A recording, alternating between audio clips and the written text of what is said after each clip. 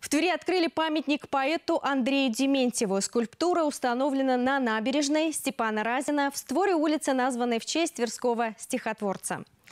Церемония открытия прошла в минувшую пятницу. На ней присутствовали первые лица города и области, а также знаменитые друзья Андрея Дмитриевича. Как живешь ты,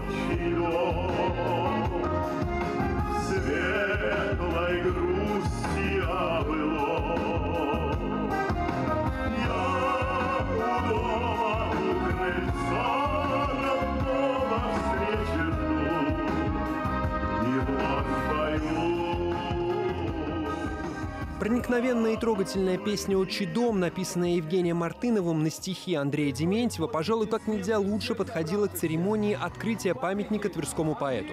Андрей Дмитриевич всегда с большой любовью говорил о своем родном городе и при первой возможности стремился вернуться на свою малую родину, в свой отчий дом. Он очень любил наш город, Тверскую землю.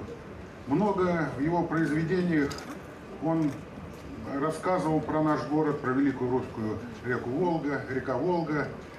И сегодня, в этот торжественный день, мы хотим сказать Андрею Дмитриевичу спасибо, потому что он был истинным русским человеком, который рос, вырос, работал, творил на нашей земле. Образ истинно русского человека стремился подчеркнуть в своей работе и автор памятника скульптор Андрей Ковальчук. Как признался мастер, главная задача, которую он ставил перед собой – раскрыть образ Андрея Дементьева, которого, к слову, скульптор знал очень хорошо. Так как памятник устанавливается в Твери, э, на берегу Волги, то мне хотелось максимально приблизить вот к этому состоянию. То есть состоянию романтическому, такому несколько лирическому даже.